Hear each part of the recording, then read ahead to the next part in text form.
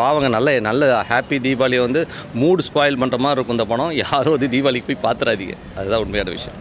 படம்னு சொல்லக்கூடாது சார். அதெல்லாம் ஒரு காவியம். எப்படிலாம் படம் எடுக்கக்கூடாதுன்னு ஒருத்தவங்க வந்து ஃபிலிம் இன்ஸ்டியூட்டில் வச்சு இந்த மாதிரி படத்தை போட்டு காட்டி இந்த மாதிரிலாம் படம் எடுக்கக்கூடாது.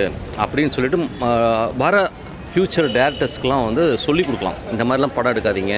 இந்த மாதிரிலாம் படம் எடுத்தீங்கன்னா தேட்டரில் வந்து மக்கள் தூங்கிடுவாங்க மக்களை தூங்க வைக்கிறதுக்கு தாலாட்டு பாடுறதை விட இந்த மாதிரி ஒரு படம் பார்க்குறது வந்து ரொம்ப சூப்பராக இருக்குங்க. ஒன்றுமே இல்லைன்னா ஏதோ ஒரு ஜப்பான் ஒரு புதுசாக ஒரு கேரக்டரை ஃபார்ம் பண்ணியிருக்காங்க அப்படின்னு சொல்லி ட்ரைலர்லலாம் கட்டிங்ஸ் பார்க்கும்போது ரொம்ப பெருசாக தெரிஞ்சுது. பட் ஒன்றுமே இல்லைங்க. இதுக்கு வந்து எதுக்கு இந்த படத்தை ஃபுல்லாக பார்த்துட்டு தான் வந்து விழா கொண்டாண்டாங்களான்னு தெரியல. இன்னும் இருபத்தஞ்சாவது படம் பெரிய லெவலில் ஆஹா ஓஹோன்லாம் கொஞ்சம் சொன்னாங்க. படம் இவங்க பார்த்தாங்களா? பார்த்துட்டு இவங்களுக்கு பிடிச்சிருக்கான்னு தெரியல. ரொம்ப மொக்கையான படம். வெச்சலே வந்து கார்த்தி லைஃப்பில் வந்து வெச்சலே தி ஒஸ்ட்டு ஃபிலிம் இதுதான். அவருக்கு வந்து கார்த்தியை வந்து நான் தவறாக சொல்கிறேன்ட்டு அமீர் மாதிரி ஒரு பருத்தி வீரன் மாதிரி ஒரு ஹிட்டு கொடுத்த டேரக்டர் ஆயிரம் மனஸ்தாபம் இருந்தாலும் அவரை கூப்பிட்ருக்கணும் அந்த விழாவுக்கு. ஸோ அது கூப்பிடாமல் கூப்பிடாம இன்சல்ட் பண்ணதுடைய தண்டனை இந்த படம் அட்டர் ஃப்ளாப் என்ன சொல்கிறதுனே தெரியலீங்களே எதுவுமே இல்லைங்களே? என்ன இருக்குது கதை இருக்கானா? கதை இல்லை. மியூசிக் இருக்கானா? மியூசிக் ஏதோ ஓடுது. ஒரு திருடன் இவர் திருடன் இன்வெஸ்டிகேஷன் பண்ணி போலீஸ் ஓடுது. திருடன் ஓடுறாங்க போலீஸ் ஓடுறாங்க திருடன் ஓடுறாங்க போலீஸ் ஓடுறாங்க.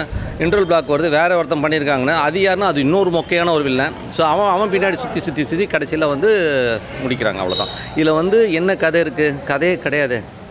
இது வந்து ஒரு நகைக்கொள்ளை. நகைக்கொள்ளை வந்து இன்ட்ரெஸ்டிங்காக எவ்வளோ அழகாக சொல்லியிருக்கலாம் எவ்வளோ படங்கள் வந்திருக்கு. அதெல்லாம் விட்டுட்டு இந்த மாதிரி ஒரு தி ஒஸ்ட்டு ஸ்க்ரீன் ப்ளே நான் லைஃப்பில் பார்த்ததே கிடையாது. அந்த மாதிரி ஒரு ஒஸ்ட்டான ஒரு ஸ்க்ரீன் ப்ளே இதுக்கு வந்து எதுக்கு இருபத்தஞ்சாவது படம் அப்படி இப்படின்னு மாறு தட்டிக்கிட்டாங்கன்னு எனக்கு ஒன்றும் புரியல. ஜிவி பிரகாஷ்லாம் வந்து போட்டுக்கார் மியூசிக் அவர் மேலாம் தப்பு சொல்ல முடியாது. வின்சென்ட் செல்வா நாயக் ஆக்ட் பண்ணியிருக்காரு. வின்சென்ட் செல்வா வந்து ஒரு டேரக்டர் ஸோ இவங்களாம் வந்து ஒரு ஃபுட்டேஜ் வந்து எடுத்து போட்டு ஒரு எடிட் பண்ணி நீங்களே டிஜிட்டல்லே பார்க்கலாம். இப்போ நீங்களே வந்து எடுத்ததை உடனே போட்டு பார்க்கலாம். ஸோ அந்த மாதிரி இருக்கும்போது ஒரு அட்வான்ஸ் வெர்ஷனில் இருக்கும்போது ஒரு படம் ஒரு அரை மணி நேரம் ஒரு மணி நேரம் ஷூட் பண்ணிட்டு எடிட் பண்ணி ஒரு வெர்ஷன் பார்க்கும்போது இது ஒரு குப்பையாக இருக்குது தூக்கி போட்டு வேறு கதை எடுன்ற அளவுக்கு கூட அறிவு இல்லையா? அப்படிங்கிறது தான் என்னுடைய கேள்வி. இதெல்லாம் வந்து குடும்பத்தோட இல்லை யாருமே பார்க்க முடியாது. இதெல்லாம் வந்து யாராச்சும் பார்த்தாங்கன்னா அவங்களுக்கு அவார்டு கொடுக்கலாம். இது இந்த மாதிரி படங்கள்லாம் நீங்கள் பார்க்குறீங்க. உங்களுக்கு ஒரு அவார்டு கொடுக்கலாம் அவார்டு கொடுக்கலாம் மொக்க படத்தில் வந்து நம்பர் ஒன் படம். இந்த படம் தான் ரெண்டாயிரத்தி இருபத்தி மூணு பெஸ்ட் மொக்க படம் இந்த படம் தாங்க கடிக்கிறாருங்க. அவர் என்னமோ ஸ்டைலாக வந்து பல்ல கடிச்சிட்டு பல்ல கடிச்சிட்டு பேசுறதை நினச்சிக்கிட்டு மனுஷன் வந்து போட்டு துப்பி எடுத்துடுற அப்படி.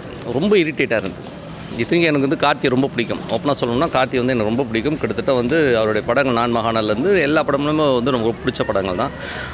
பட் இந்த படம் வந்து தாங்கவே முடியல. யார் ஹீரோயின் யாரோ அணுவா யாரோ அணுவாண்டிக்க அதுன்னு. அதெல்லாம் ஒன்றுமே இல்லைங்க. சும்மா வந்து கவர்ச்சியாக வந்து ஒன்று ரெண்டு சீன்ஸில் வந்து அப்படியே காமிச்சிட்டு போகிறாங்க அவ்வளோதான் ராஜ்மோகனுக்கு வந்து அடுத்து படம் கிடைக்குமான்னு தெரியலையே. இந்த மாதிரி படம் எடுத்தால் எப்படி படம் கிடைக்கும்? படம் கிடைக்குமானே தெரியலையே.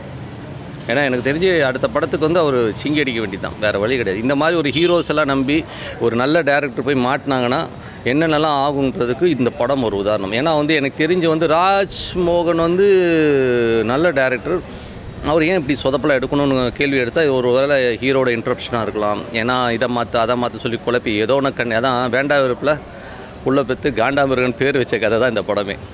அவருக்கு ஹீரோ பேர் ஜப்பானுங்க அவ்வளோதாங்க அதுக்கு ஜப்பானுக்குன்ற ஒரு நேமுக்கெல்லாம் வந்து ஒன்றும் ஒரு பெரிய எலாபரேஷன்லாம் ஒன்றும் கொடுக்கவே இல்லை. அவங்க ஒன்றுமே கிடையாது ஒன்றுமே கிடையாது.